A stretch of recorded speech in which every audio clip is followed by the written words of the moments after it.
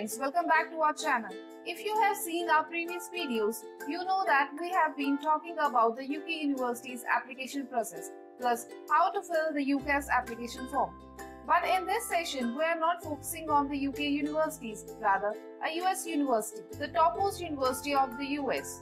Yes, you heard it right guys. Today you will come to know about the admission process of the Harvard. Harvard is a self-explanatory term which doesn't need any introduction. We will cover admission process in two parts, part 1 and part 2. In the first part, we will discuss about the general forms to be filled and in second part, we will focus on the requirements other than the application form. Please watch it till the end for the complete information. So without making any further delay, let's start our video.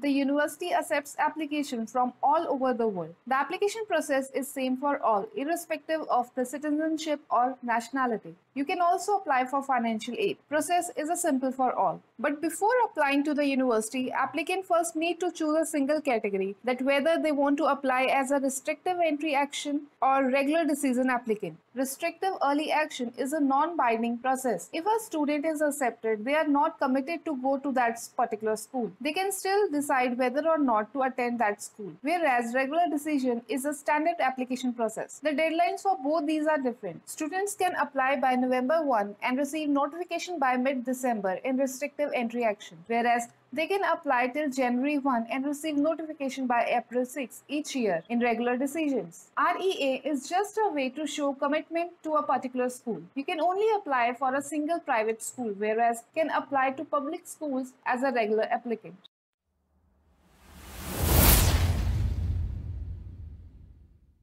The applicants who are aware of the UK university's application process knows that there is a UCAS form common for all UK universities. In the same way, there are three forms that US universities including Harvard accepts for admissions. These are Common Application, Universal College Application, Coalition Application. You can choose any one of the measure to apply. Each method is treated equally by the admission committee. If you choose Common Application, you must submit your application form before your supporting materials can be released to the college. The Universal College application doesn't require the same process. These three forms are online application forms that gather all information related to your parent, guardians, education, history, work experience, etc.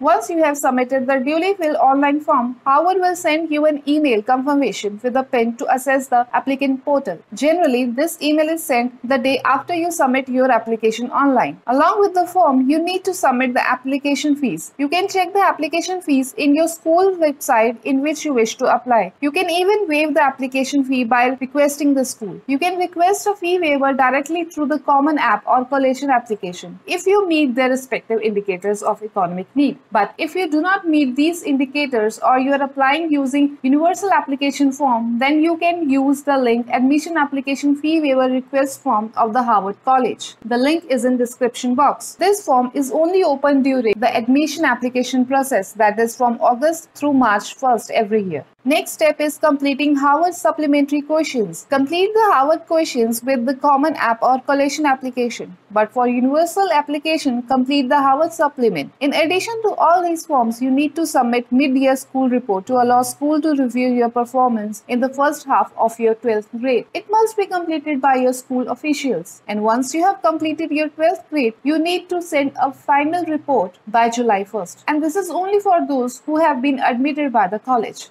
Now comes the standardized test scores. These tests include GRE, GMAT, LSAT, SAT. Depending on the course you wish to apply, check out the school website to see which scores they accept. So here we ends our part 1 which includes the application form. Our part 2 which we will upload shortly will include letter of intent, statement of purpose, letter of recommendation, process of the interviews, your deadlines, and lastly the English proficiency test. I hope I have explained it well. If you have any queries, please comment below and do subscribe our channel for more such content. We post weekly. I hope you are liking it as well. If you wish to apply for Oxford or even Cambridge but finds the process a difficult one, do check out our link. It's an easy process you have ever assumed. Plus a bonus video on UCAS application form. Do check out the links. Thanks for watching.